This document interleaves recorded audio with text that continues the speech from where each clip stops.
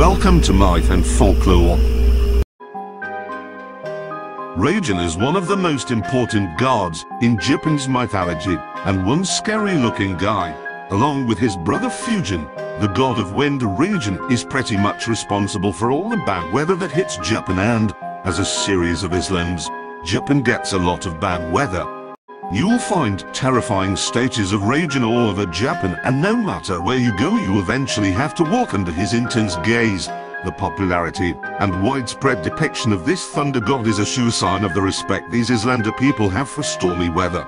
Raijin is one of the eldest gods among all Shinto gods.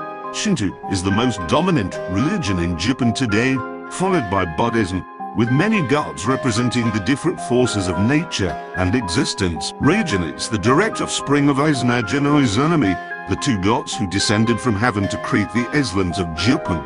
Every Japanese person knows what Raijin is supposed to look like, since there are statues and pictures of him all over Japan. He is usually depicted as a big, muscular figure, although sculptors do like to give him a potly with a terrifying face. Sometimes he has horns, while other times he simply has wild, gravity-defying hair.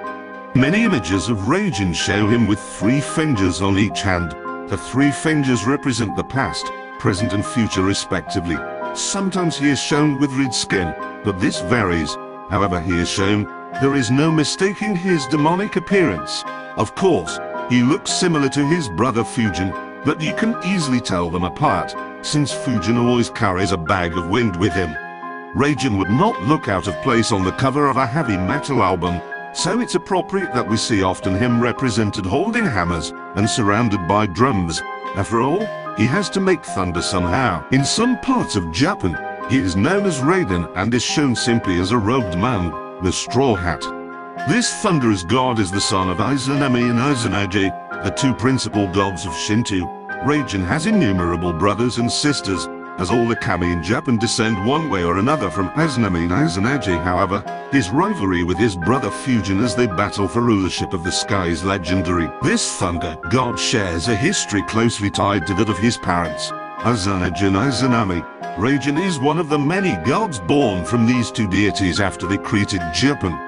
He was born following his mother Izanami's death, caused by the birth of the fire god, after she went to the underworld her husband Izanagi went after her. After a misunderstanding between the two, Izanagi fled and was one of the spirits Izanami sent to chase him and bring him back.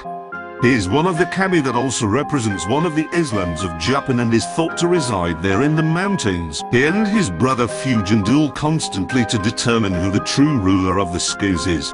He is widely respected, feared and seen as an Oni, or demon, the Japanese see Raijin as a good spirit based on an old belief that lightning fertilizes crops. This thunder god is also a god of agriculture to whom farmers pray. Thanks for watching the video. Sign up and leave a like.